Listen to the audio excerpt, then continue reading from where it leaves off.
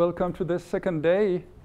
So it's extremely bad taste for an organizer to speak at a conference. And this is why uh, I will actually not speak uh, so much about my own work. I will just give a review of some of Hubert's work to, uh, to try to complete uh, the talk of Jean-Bernard Zuber that took uh, place yesterday.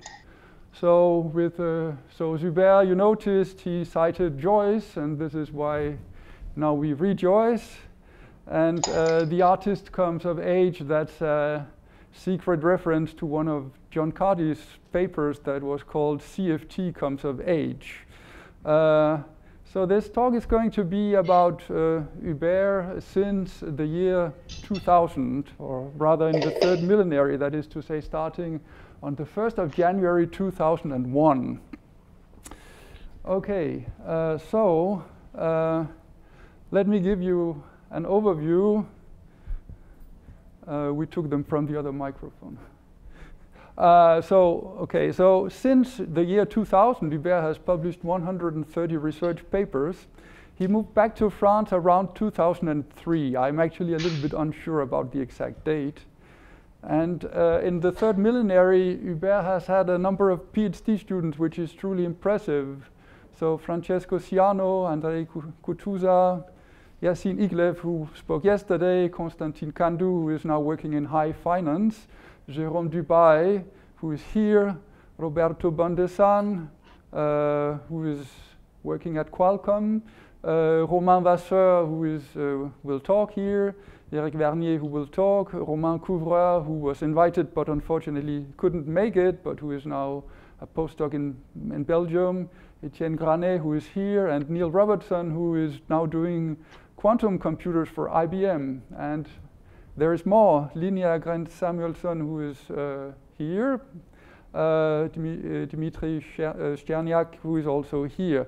And add to all of this many postdocs, uh, financed over a certain number of grants. So uh, here's a group picture that was taken in 2013.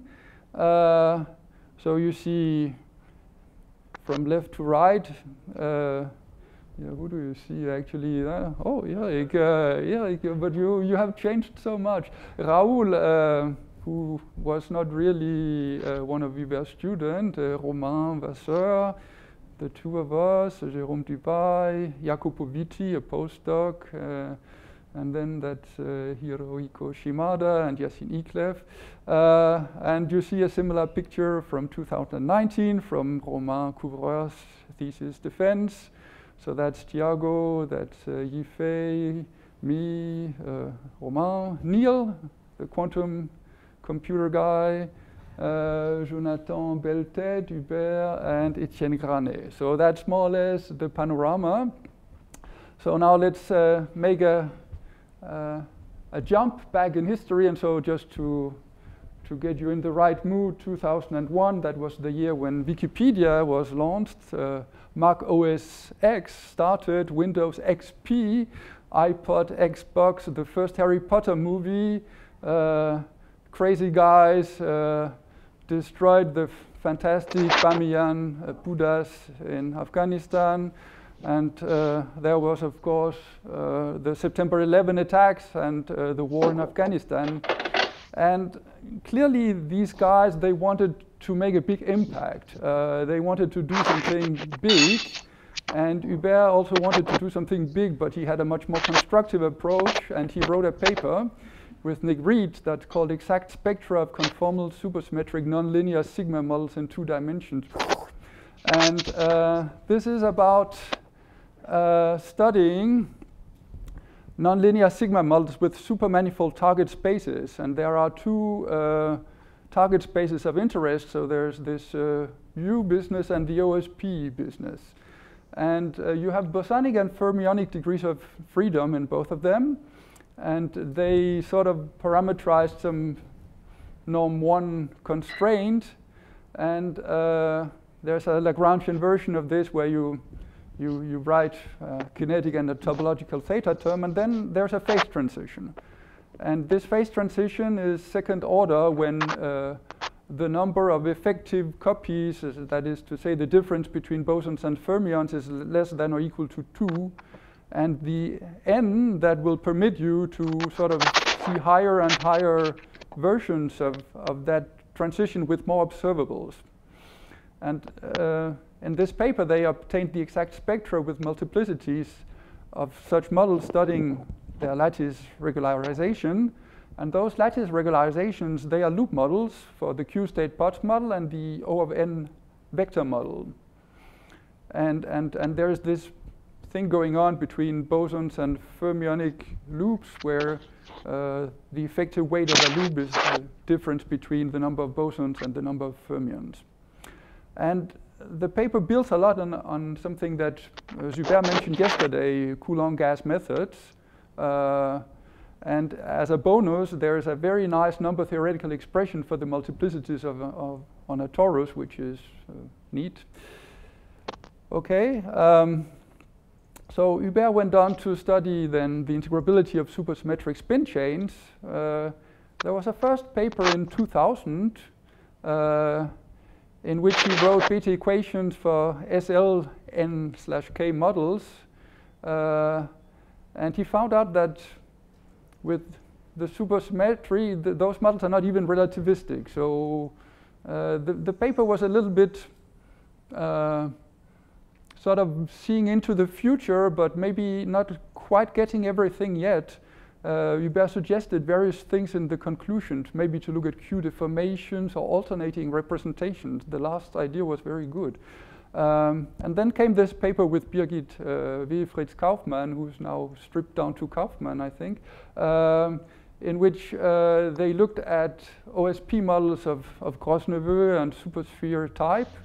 Uh, in which the S the scattering matrix has, has these three terms compatible with ON symmetry. And there's an underlying Birman-Wenzl algebra, uh, which they treat by providing supersymmetric generators for these uh, three uh, uh E, P, and I identity, uh, permutation, and Temperley-Lieb uh, generator. Um, and they find that in the graded case, the S matrix is not unitary. So non-unitarity that's something that really entered Hubert's life, I guess, maybe from this point on.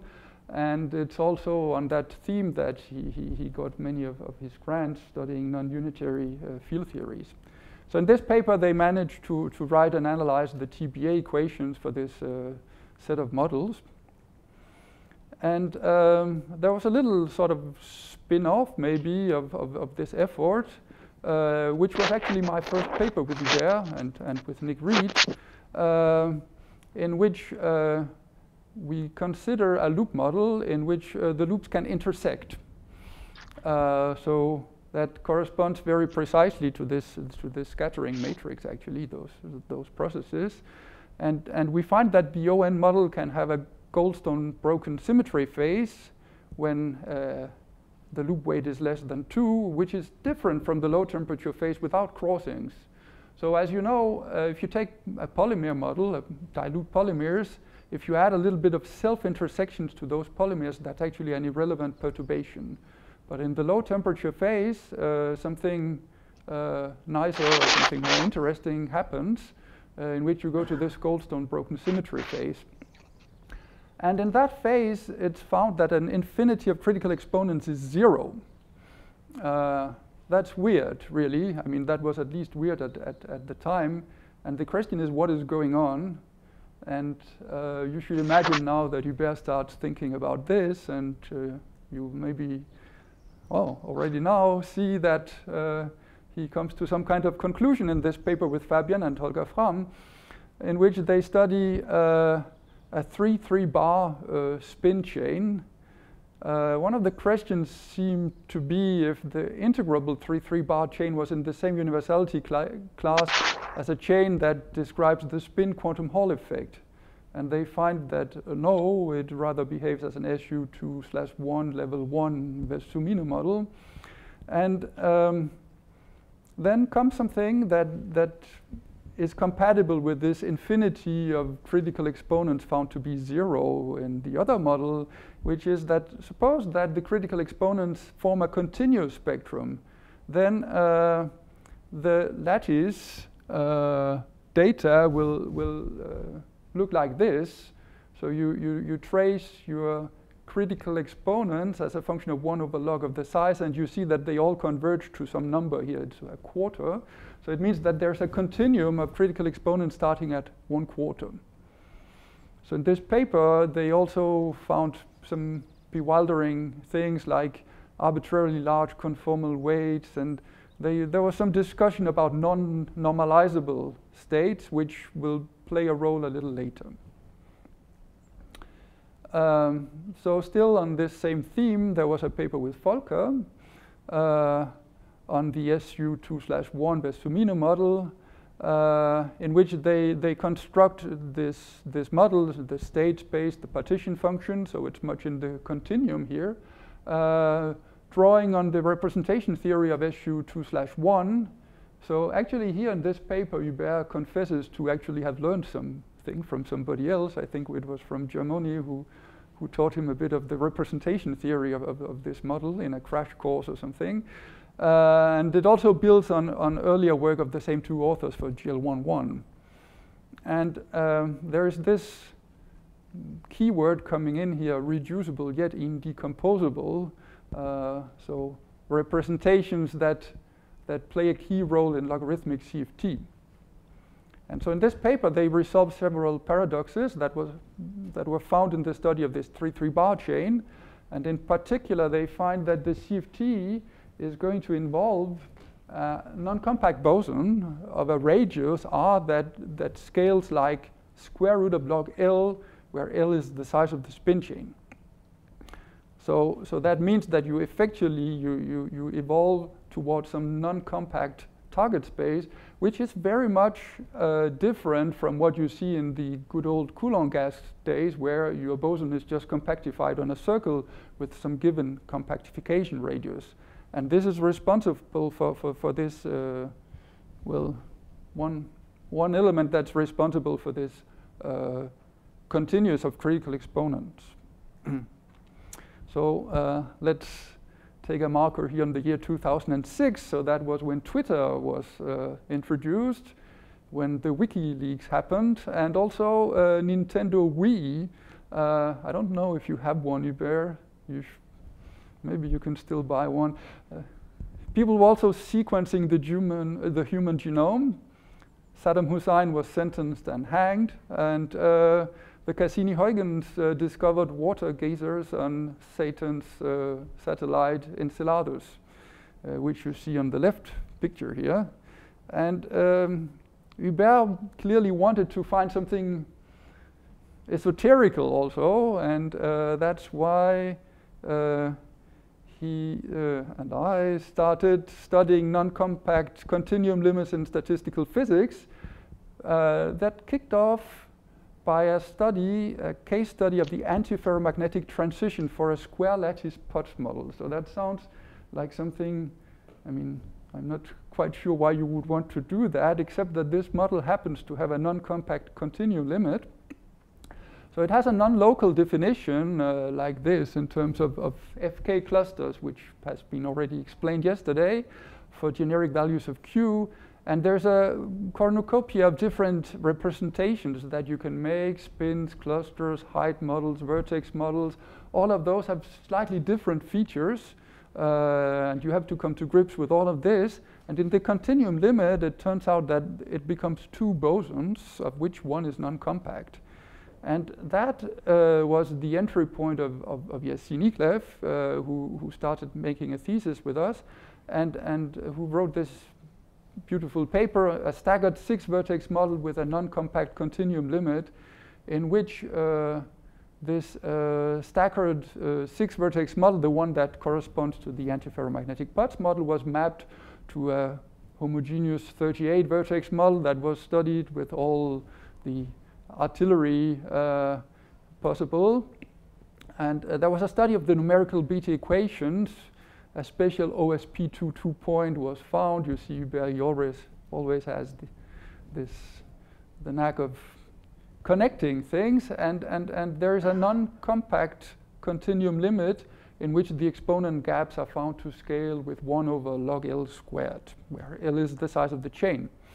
And that was followed up by uh, later papers. So here's one from 2012, uh, in which um, uh, Yacine managed uh, with the two of us to, to make an interesting connection. Uh, so it turns out that this integrable spin chain in the continuum limit has something to do with a model of string theory, which is the SL2R over U1 black hole sigma model first introduced by, by Ed Witten. Um, and uh, this was carried out by a, a Wiener-Hopf analysis of the Bethe equations. Uh, the non-compact limit is retrieved, and, and uh, the technique gives access to the density of states of this model with uh, agreement with uh, expressions found using string theory methods. And uh, there was a subsequent improvement using nonlinear integral equations by Ikhlef and Constantin Candu, the guy who's now doing finance, I guess. And uh, this whole scenario has been confirmed by an extensive series of works uh, in 2021 by Bazhanov, Kotousov, Koval, and Lukyanov, up to a subtle detail in which uh, they, uh, they correct one of our statements. It has something to do with the signature. Uh, Euclidean versus Lorentzian. Um, so more models uh, were found having non-compact continuum limits. So with Eric Vernier, we studied a model of polymer collapse, which was found to have the same continuum limit as this black hole sigma model. And also uh, with uh, Neil and uh, Mikhail Pawelkiewicz, uh, uh, we studied integrable boundary conditions in, in, in the AF model. Uh, so the challenge was to find boundary conditions which were compatible with this non-compact continuum limit. And the work keeps going on. So now it's about the SL2C non-compact spin chain. I work with, with uh, Etienne. At that time, uh, roughly at that time uh, with Hubert, we started having some projects about writing a book, uh, which never happened really. The first chapter was written actually. There was a plan of writing 20 chapters, the detailed plan, and the first chapter was written out at, at 60 pages. So 60 times 20, that's an awful lot. Uh, when we arrived at thinking about the second or third chapter, uh, so loop models happen to be a part of that book. Um, we sort of realized that one doesn't know so much about boundary conditions in loop models. And so the book was abandoned and instead came out this paper uh, uh, about conformal boundary loop models in which it's found that if you modify the weight of loops that touch the boundary, you can get a continuous family of conformal boundary conditions rather unlike uh, the usual bijection uh, between bulk fields and conformally, conformal boundary conditions in rational CFT. And it nicely relates, of course, as always, to earlier work by Hubert, uh, so the blob algebra made with Paul Martin. Um, and it gives nice geometrical applications. So this is where Jérôme Dubail enters the game. He made those pictures here. Uh, so that was studying a two-boundary loop model.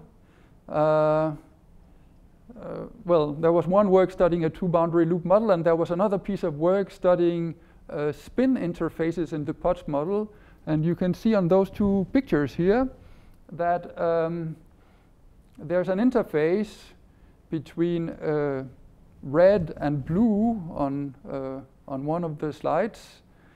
Uh, and on the other slide, well, I mean, hmm, I was supposed to, I, maybe I didn't take the right pictures. I'm a little bit uneasy here. The, in any case, the story is that if you take an interface between two unlike colors, then the interface can be very thin. It's just one lattice spacing. And if you take them between two like colors, the interface has to be thicker. So that's what we call a thick domain wall. And, and the pictures were supposed to, to show one of each. Now I'm slightly confused. Um, so that brings me to the year 2007. Uh, so in 2007, uh, this stuff was introduced, iPhone, iPhone 1. Uh, it sells for a fortune now. Uh, Windows Vista, Tumblr, uh, and uh, there were some unfortunate shootings in the US. Bulgaria and Romania joined the European Union, and something was moving at very high speed. Uh, they were not nuclear submarines, but they were French TGV uh, trains that ran at a record-breaking 574.8 kilometers per hour.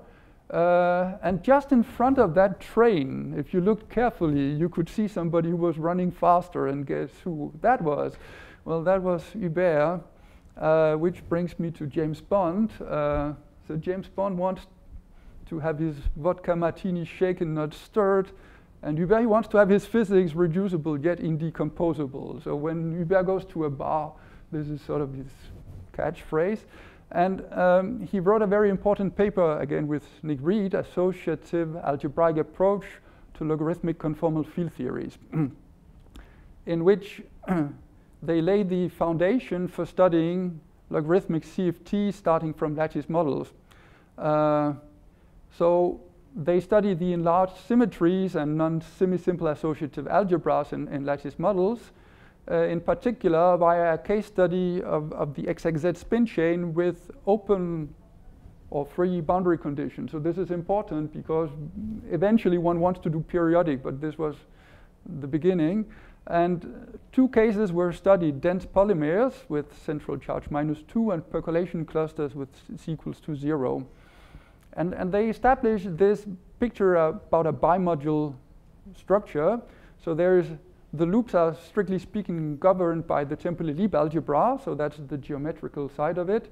But then the commutant of Temperley-Lieb is the quantum group UQSL2, uh, and you need to, to, to study both of the representations of both simultaneously to see the full picture. And uh, and in that way, they are able, from the lattice model, to derive the submodel structures of indecomposable Virasoro representations. Uh, there was a companion paper to this. Uh, and so much work from that on was, was spent giving flesh to this set of ideas. So let me be a bit more sketchy here. So with Jérôme Dubail, uh, the idea came up that maybe these, uh, this indecomposability, which is characterized by certain parameters called B, could be measured directly in the lattice model. So the idea is that the indecomposable structures happen already in the lattice model. And so uh, there are some difficult questions about how to normalize everything, and, and, and Jérôme figured it all out. And then uh, Romain Vasseur came in and, and made a systematic derivation of such parameters in many theories, that is to say, chiral theories. Uh, and uh, the work then went on to study bulk percolation uh, uh, in an approach that doesn't really take a, into account all the symmetries, but which can still uh, do enough so that you can see in indecomposability and it applies also to higher dimension, which is uh, interesting and which has had a little bit of impact in, in, in on the conformal bootstrap community. And these indecomposability parameters uh, predicted also for higher dimensions have subsequently been measured in percolation in three, four, and five dimensions. And uh, this set of ideas goes on up till the present day. Uh, so in a recent paper with Linnea, Lawrence Liu, and, and Yifei, uh, rank 2 Jordan cells were found in the Q-state Potts model for any Q, and, and, and those actually do not really appear uh, directly in the lattice model, but they, they build up when you go to the continuum limit. So that's a new feature that, that needs to be taken into account. So that takes me to 2013 and another line of, of research. So in 2013, people were doing cloning, uh, obtaining human embryonic stem cells. Uh, Edward Snowden was disclosing many things. And uh, in Ukraine, there were the Euromaidan pro-EU demonstrations. Uh, they wanted to mark a point, and maybe Hubert also wanted uh, I forgot what the catch line would be now.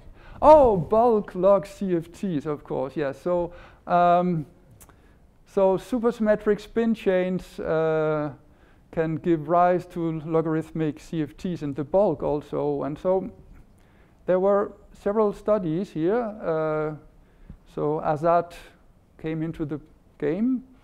Uh, the first paper is about the GL11 spin chain, the one that has central charge minus 2 and which is related to spanning trees and things like that on the lattice. And uh, they find out, well, the, they, they build on the fact that the Temperley-Lieb algebra here in the periodic case is replaced by a bigger Jones Temperley-Lieb algebra. And then by, by quantum pure duality, the UQSL2 has to be replaced by something smaller, which they call UQ odd SL2. And they analyzed the spin chain as a bimodule over those two representations. And they managed to identify the, the Jones-Temperley-Lieb elements that are precursors of, of the LN generators of the Virasoro algebra uh, uh, and L bar. And two years later, there was another paper I will not treat it in much detail, but that was about the periodic alternating SL2-1 spin chain, which we have already seen it a number of times. And, and, and the idea is to build again on representation theory uh, to find out what's going on in the continuum limit. Uh, and they predict the full structure of, of the vacuum module. Uh, there's more news on that, uh, actually quite a quite recent paper uh, of, of Yifei and Hubert. And they find uh, that there's a possibility of having Jordan cells of arbitrarily high rank. So things are really complicated. And uh, well, Hubert likes these, these, these arrows now. Uh, so, okay, so if you know those arrows, you, you can see what I mean. So it's all about quotient submodule structures, the algebraics in certain directions, and there are all these, the, these representations that are being glued together. There are logarithms every th time things are glued, and and it's really, really, really sort of really complicated. Um, okay, um, so I'm doing fine on time. Um, so correlation functions in loop models. I will start now being uh, more sketchy because much of the more recent stuff will actually be covered by, by other talks, so there is no reason that I, I, I, I preempt too much on it. So uh, Yacine told a bit about this yesterday. So in 2016, uh, we wrote a paper about three-point functions of so-called electric operators in loop models. So those are operators that modify the weight of a loop that, that goes around a, a certain insertion point. And it found uh, that uh, the three-point structure constant uh, of, um, of such a an operator is linked to the DOZZ, that is to say Dorn Otto twice curve structure constant for uh, C less than 1 Liouville theory. So uh, that's the, the, the, impressive formula with all the upsilon functions in it. Um, and uh, a little later, uh, 2018, 2019, we started studying four-point functions of order parameter operators in the Potts model. Uh, following on earlier works, I mean, Yacine described a fair bit about it, and it's, it's going to be covered also by, by Sylvain Ribault's talk uh, to some extent, I, I, believe, and maybe other talks as well. So there was a conjecture here for the spectrum of exchange fields when you consider a four-point function and you take the points together two by two, uh, which turns out to be richer uh, than what was originally uh, supposed. Uh, and in particular, you get these Kac labels, which are, are fractions uh, that can have uh, arbitrarily large, arbitrarily large uh, denominators. And building on that, uh, with Yifei, uh, we, we were able to study these four-point functions using the conformal bootstrap technique. But now there is this aspect that Yacine discussed about things not so factoring, factorizing so well between Virasoro and Virasoro bar. That means that you now need to uh, operate a so-called interchiral conformal bootstrap. And I will bet my head that in 2025, uh, there will be a lot more to be said about this interchiral thing. I can actually see best thinking about it right now as I speak. Um, so uh, I thought I would save a little bit of time so that we don't get late. Uh, so 60 is a magical number. It appears everywhere in science and civilization. So here's the Buckminster fullerene carbon 60 and Hubert, you know this language? Or no? Okay. So, well, that's Babylonian numbers, numerals. It strikes me that they have numerals from 1 up to 59, but there's nothing for 0 or 60. Well, anyway, clearly the, the base of that number system is 60. That's why we have 60 seconds in an hour. And, but the most magical thing, of course, is Hubert, who's uh, here. So he's also now 60. I can't believe this is going to happen. Uh, we all get so old, but still we are going strong. And so happy birthday, Hubert. Uh, thanks a lot for all these contributions. And I look forward to 60 more years of collaboration.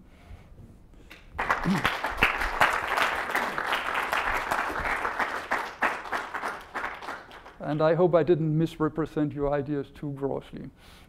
So thank you, uh, Jesper, for a beautiful talk. Um, so I'll pass the microphone on in a moment, but I just wanted to say uh, so apparently, uh, all the morning speakers give you some uh, job to do. So, so you have to revolutionize climate science, and you have to learn Babylonian. So let's see what comes in the remaining two days. Well, thank you, Jesper. It's really um, sobering to realize we've done so little in so many years. I feel. I mean, yeah, I, I wanted feel, to I make feel, that I feel we're still trying to to solve the basic 2D loop model, which is kind of yeah sobering, like I said. But I think what you're convincing me of is that now it's time to move to real physics. I feel uh, maybe yes, maybe start talking to experimentalists and all that. But but okay, maybe I'll wait for 65. Maybe okay. anyway. Thank you again, Jesper. And we should go back to the book. Huh? That's pretty clear. Okay. Any other uh, questions or comments? Yeah, I have a question. How many unwritten books do you have, actually? Well, only two. I think only two.